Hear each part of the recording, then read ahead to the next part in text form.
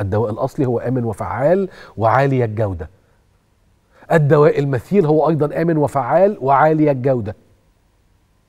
13 مثيل بنفس الأمان بنفس الفاعلية بنفس الجودة العالية. صح كده؟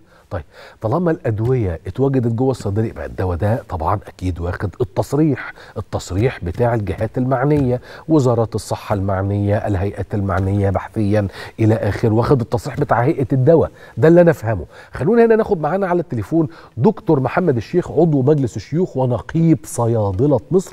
أهلا بيك يا دكتور. أهلا مساء الخير يا يوسف بيه. عامل إيه يا فندم؟ الله يخليك. الحمد لله يا فندم. الحمد لله. الحمد لله. مساء الخير على حضرتك وعلى الساده المشاهدين. مساء الفل على حضرتك. إحنا ينفع لما نبقى عند الدكتور نقول له اكتب لنا الاسم العلمي للدواء أروح بيه الصيدلية؟ آه ده ده ده كلام الحقيقة أنا بشكر بحيي حضرتك على واشكرك على إثارة الموضوع ده والاهتمام بيه. الله وفي التوقيت ده بالذات يعني الحقيقة. يا رب يخليك. آه حضرتك اشرت نوهت بشكل جيد جدا عن آه كل دواء ليه 13 مثيل نفس الجودة بنفس الفعالية بنفس المنتجات بنفس الكفاءة بتاعتهم واحد. ده, ده المثيل.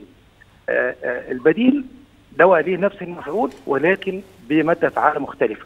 مم. فأنا لما أجي أقول مثيل إحنا عندنا عشان آخد الدواء يبقى بنفس الدواء ينزل السوق المصري لابد إن كفاءته ما تقلش عن 98% ل 103% من الدواء الأصلي. يعني لو الدواء الأصلي بتاعي 100% أقل دواء في المثيل يطلع 98% وأكثر دواء يبقى 103% فهنا يبقى مسموح به ينزل ويتم تداوله في السوق المصري. جميل. الميزة في الحكاية ديت؟ عندي حاجتين. اولا المثيل في دواء جنيه الدواء الأصلي.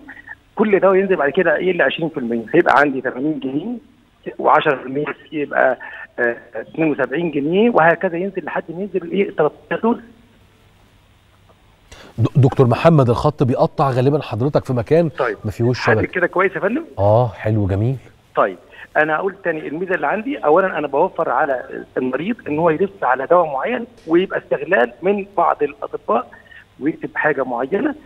لهدف معين زي ما حضرتك أشرت ليها. طيب أنا دي ميزة. أنا المريض مش هيلف طب الميزة الثانية إن أنا عندي الدواء الأولاني البراند الأصلي بيبقى هفترض ان سعره 100 جنيه. كل دواء ينزل بعديه يقل عنه 20% يعني أنا النهارده هتلاقي في دواء ب 100 جنيه ونفس المثيل بتاعه ممكن يوصل 15 أو 20 جنيه.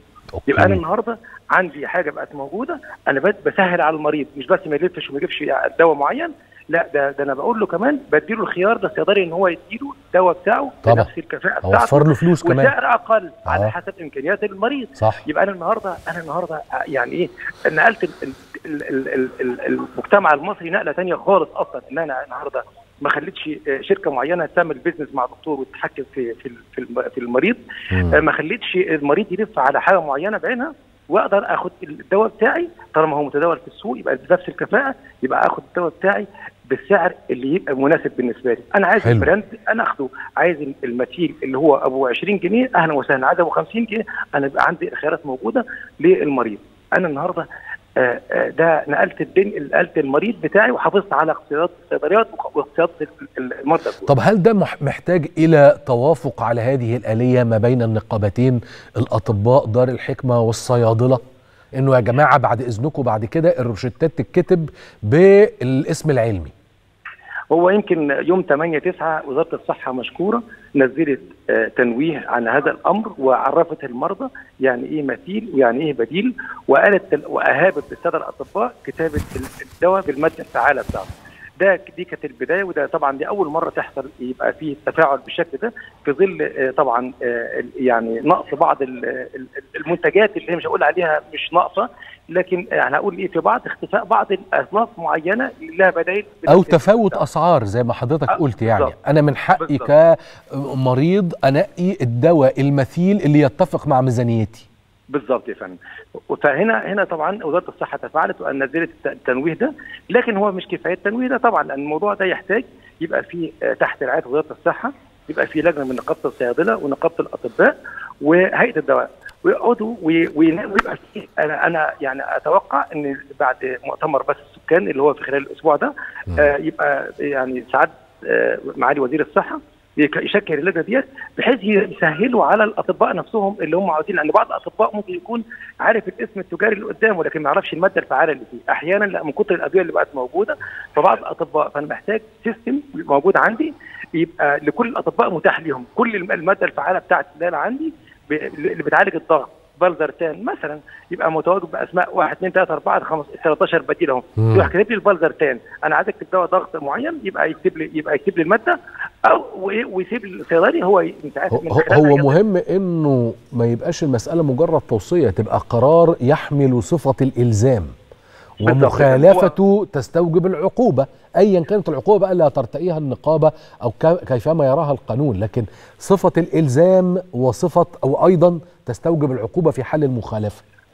آه، يعني يعني طبعا إحنا عايزين نبدأ يعني طبعا يمكن عايز أقول لحضرتك إن السعودية سبقتنا في الأمر ده ودول عربية ثانية ودول أجنبية. طبعا كلها بيطلع بالاسم. تفضلت بالاسم. بالماده الفعاله زي ما حضرتك تفضلت لكن أنا يعني يمكن آه، آه، طبيعة المجتمع بتاعنا أنا ما أعرفش في التوقيت ده هل آه، يعني وزارة الصحة تلزم الأطباء بهذا الأمر ولا الموضوع يطلع في شكل يعني يعني يدي time limit مثلا ولا حاجة بالنسبة لها يعني يبقى في system يبين والله ك- حضرتك كرجل تشريع أكيد عارف إنه حتى يحدث ذلك لازم يبقى في مناقشات ما بين النقابات الطبية اللي ليها علاقة بده سواء اذا كانت بقى نقابة الأطباء أسنان صيادلة إلى آخره.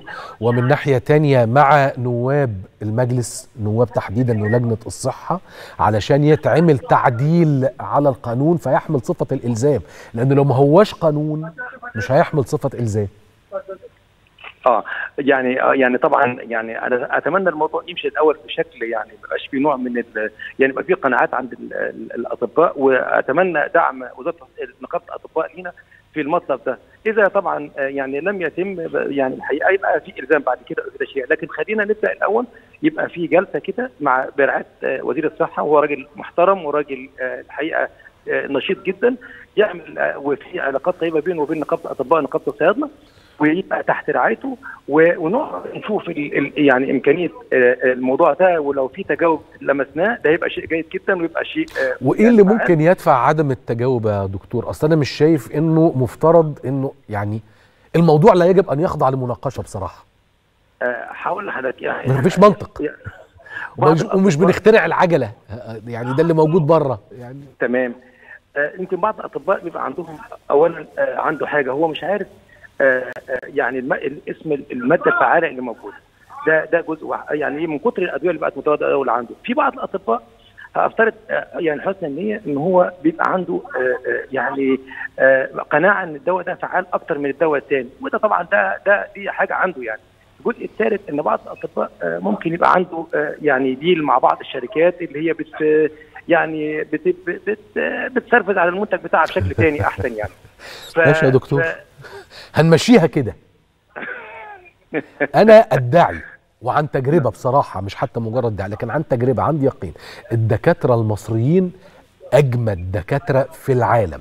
بدليل الدكاترة المصريين اللي بنشوفهم في بلاد بره هم نمرة واحد. الإنجليز طالبين الدكاترة المصريين على أول. الليستة. ده حقيقي. فهو أكيد عارف الاسم العلمي والمادة الفعالة فنحن نهيب بالدكاترة المصريين. آه، تخفيفا على أخواتكم المرضى المساكين اكتبوا لنا المادة الفعالة. سيبونا إحنا نختار ميزانيتنا براحتنا يعني. أنا عايز أشكرك يا دكتور كل الشكر للدكتور محمد الشيخ عضو مجلس الشيوخ ونقيب صيادلة القاهرة.